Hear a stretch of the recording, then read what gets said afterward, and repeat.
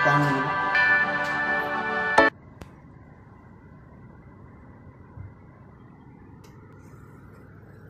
அதுக்காக நான் அப்போ ஸ்டார்ட் பண்ணுறேன் ஹாய் ஃப்ரெண்ட்ஸ் இப்போ நம்ம என்ன பண்ண போகிறோம்னா நம்ம வீட்டில் இருக்கிற கம்ப்யூட்டரில் வந்துட்டு நிறையா டைமில் வந்துட்டு நோ சிக்னல்னு வரும்.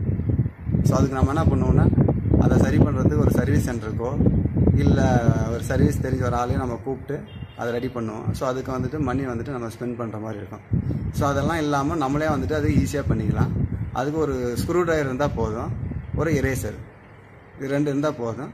நம்ம கம்ப்யூட்டரில் வந்துட்டு அந்த நோ சிக்னலில் வந்துட்டு என்னங்கிறத நம்ம செக் பண்ணிக்கலாம்.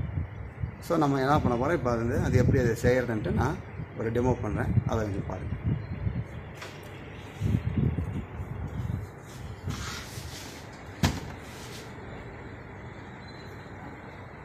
ஸோ நம்ம ஸ்க்ரூ ட்ரைவர் வந்துட்டு ஸ்டார் இருந்தாலும் ஓகே சப்போஸ் நம்ம வீட்டில் வந்துட்டு மேக்ஸிமம் டெஸ்டர் எல்லாம் வச்சுருப்போம். ஸோ டெஸ்டர் இருந்தால் டெஸ்டராக கூட நம்ம இதாக யூஸ் பண்ணிக்கலாம்.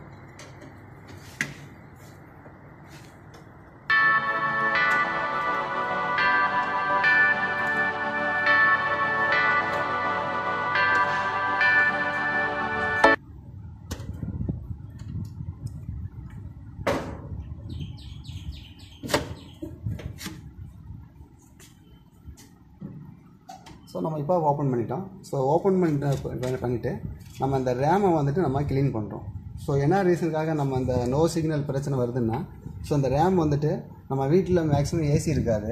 ஸோ அதனால் அந்த ரேமில் வந்துட்டு என்ன இருக்குன்னா அந்த கீழே இருக்கிற சிலாட்லாம் டஸ்ட்டு வந்துட்டு நிறையா இருக்கும். ஸோ அது நமக்கு கண்ணுக்கு தெரியாத டஸ்ட் வந்து நிறையா இருக்கிறதுனால நமக்கு என்ன ஆகும்னா அந்த ரேமில் இருக்கிற ரேம் சிலாட்டுக்கும் இதுக்கும் அந்த கம்யூனிகேஷன் பாஸ் ஆகாது. ஸோ இப்போ என்ன பண்ணுறோம் நம்ம கழட்டுறதுக்கு முன்னாடி இந்த சைடில் இருக்கிற எல்லோ ஒயிட் கலரு அந்த இதை வந்துட்டு கிளிப்பை வந்துட்டு ரிமூவ் பண்ணிடணும். ஸோ ரெண்டு சைடும் அதே மாதிரி இருக்கும். இதை ரிமூவ் பண்ணிட்டு தான் நம்ம என்ன பண்ணணும்? ரேமாக வந்துட்டு நம்ம எடுக்கிறோம். ஏன்னா இப்போ உங்களுக்கு பார்த்தா தெரியும் இதில் எவ்வளோ டஸ்ட் இருக்குதுன்னு தெரியும். ஸோ இந்த டஸ்ட்டு வந்து இருக்கிறனால என்ன ஆகுனா நமக்கு ப்ராப்பராக வந்துட்டு ஸோ சிபி ஆன் ஆகி நமக்கு மானிட்டருக்கு சிக்னல் வந்துட்டு சென்ட் ஆகாது.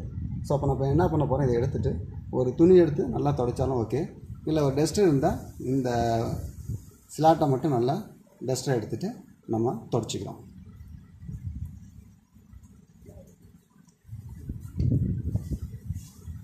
இப்போ வந்து நான் துணி வச்சுருக்கிறேன். இந்த துணியை என்ன பண்ணுறோம் நல்லா வந்துட்டு ஃபுல்லாக அந்த இடத்துல தொடச்சிடுறோம். துணியை விட இன்னும் எரேசர் இருந்துச்சுன்னா இன்னும் நல்லா ஈஸியாக இருக்கும். பக்கத்தில் எந்த பிரச்சனை இல்லாமல் இந்த பக்கத்தில் இருக்கிற இந்த சர்க்கியூட் எதுவும் டேமேஜ் ஆகாமல் நம்ம எரேசர் இருந்தால் நல்லா ஈஸியாக தொடச்சிக்கலாம். ஸோ தொடச்சிட்டு நம்ம வந்துட்டு திரும்ப எப்படி எடுத்தோமோ அதே மாதிரி இந்த சிலாட் இருக்கும். இந்த பொசிஷன் எப்படி இருக்கோ அந்த பொசிஷன் தகுந்த மாதிரி நம்ம என்ன பண்ணலாம்? அப்படியே வச்சு இன்சர்ட் பண்ணிடணும்.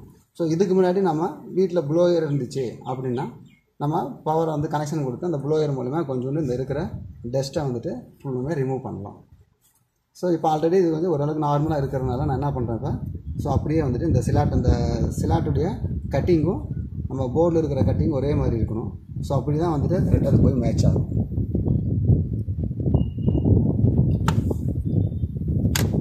ஸோ வச்சு ஒரே ப்ரெஸ் பண்ணால் போதும். இந்த கிளிப் வந்துட்டு அதுவாக வந்துட்டு லாக் ஆகிரும் ஸோ சப்போஸ் லாக் ஆகாமல் கொஞ்சோண்டு கேப் இருந்துச்சுன்னா ஸோ அந்த இடத்துல நமக்கு என்ன ஆகும்னா கரெக்டாக போயிட்டு போர்டோட செட் ஆகிருக்காது ஸோ நம்ம ப்ரெஸ் பண்ண உடனே ரெண்டு சைடும் மேட்ச் ஆகிடும் ஸோ இதுக்கப்புறம் நம்ம என்ன பண்ணுறோம் பவர் கேபிளோட இன்சர்ட் பண்ணிக்கிறோம். ஸோ பவர் கேபிளை இன்சர்ட் பண்ணிட்டு ஸோ திரும்ப நம்ம என்ன பண்ணுறோம் ஆன் பண்ணுறோம் பவர் பட்டனை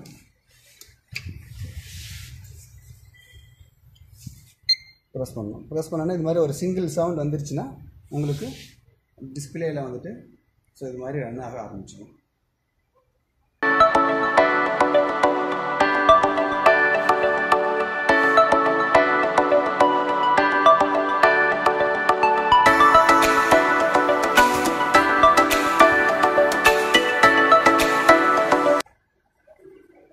இது என்ன ரீசனுக்காக ரெண்டு ரீசனாலும் நமக்கு இது மாதிரி வரும். ஒன்று இந்த ரேம் வந்துட்டு டெஸ்ட் நிறையா வந்துட்டு மைக்ரோ கண்ணுக்கே தெரியாத அளவுக்கு டெஸ்ட் நிறையா இருக்கும். ஸோ அந்த டைமில் இது மாதிரி வந்துட்டு ஸோ சிபிஎல்லாம் ரன்னிங் இருக்கும். நமக்கு அந்த மாதிரி இப்போ வர அந்த மானிட்டரில் சிக்னல் வராது.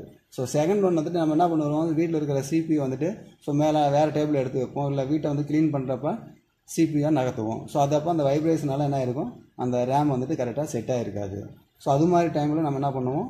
ஸோ இது மாதிரி செஞ்சால் ஒரு எரேசர் எடுத்துகிட்டு ரேமை வந்துட்டு ஃபுல்லாக தொடச்சிட்டு இல்லை ஒரு துணி எடுத்து நல்லா தொடச்சிட்டு ஸோ திருப்பம் இருந்த மாதிரி வச்சு ப்ராப்பராக இன்சர்ட் பண்ணிட்டு பண்ணால் நமக்கு வந்துட்டு இன்புட் நோ இன்புட் சிக்னலில் வந்துட்டு இல்லாமல் நம்ம ஈஸியாக ரெக்கவரி பண்ணிக்கலாம். ஸோ இதனால் வந்துட்டு நம்ம கடைக்கு கொண்டு போகணுங்கிற அவசியம் கிடையாது. இல்லை இது ஒரு டூ டேஸ் ஆகும் ஒரு சர்வீஸ் இன்ஜினியர் வரத்துக்கு ஸோ அப்போ அது மாதிரி டைமில் வந்துட்டு நம்ம இது ஈஸியாக வந்துட்டு வீட்டிலே அதை வந்துட்டு இந்த ப்ராப்பராக சால்வ் பண்ணிக்கலாம். தேங்க்யூ